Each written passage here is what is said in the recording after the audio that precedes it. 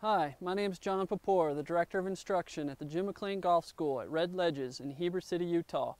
And today I want to talk about how you can get more power out of your driver. Back in 1983, Jim McLean did a lot of research and wrote a book called The X Factor, which meant the greater the differential between your hips and your shoulder rotation at the top of your swing equaled the greater potential for power in your shot. Now we're going to talk about driver specifically and how you can get more power and increase your X factor while hitting a driver. So I've got two clubs here and what I want to demonstrate first is Jim's X factor at the top of the swing. What that means is now I've got two lines. I've got my shoulder and my hip line at address. And when I stand up to the ball at address, we want them both par parallel left to my target line.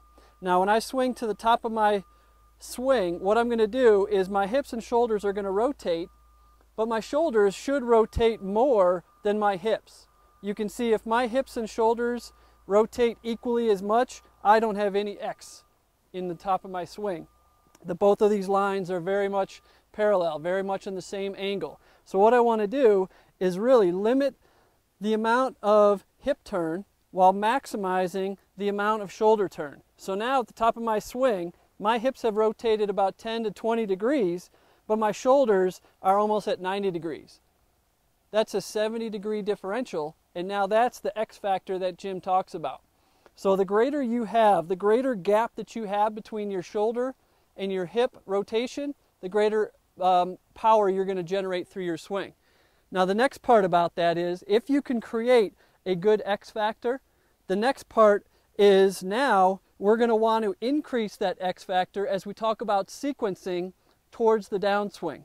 So again, if I take it to the top of my swing and rotate my hips about 20 degrees and my shoulders at about 90 to 100 degrees, I've got a 70 degree differential there. Now on the way through, what I want to do is sequence the body parts to start the downswing. I want to start with my lower body first. Start with my hips firing.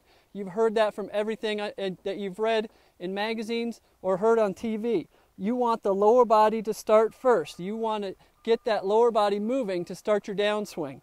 As I do that, now you can see the X factor is actually increasing. I'm increasing the gap in my X factor as I go down to my to impact position. So then what I've done is now sequence my body appropriately. I've got the hips starting first, the upper body and the shoulders starting second, the arms and the club are lagging behind, holding that angle, and again, at the very last moment, releasing through impact. That's power, and that's going to generate a big muscle swing, starting with your lower body first. So let me show you what that means. As I set up to the ball, you're going to see that my hips and my shoulders are going to be at the same line, parallel left to my target line. As I take the club to the top, my shoulders are going to out swing my hips in terms of rotation. I'm going to generate a big X factor. And then on the way through, I'm going to start the lower body first, increasing that gap, so then my shoulders can catch up. The arm and the club are going to be the last thing to come through. I'm going to swing this club through with quite a bit of power. So let me demonstrate that. Good address, good X factor at the top, and get those hips to fire the first thing on the way down.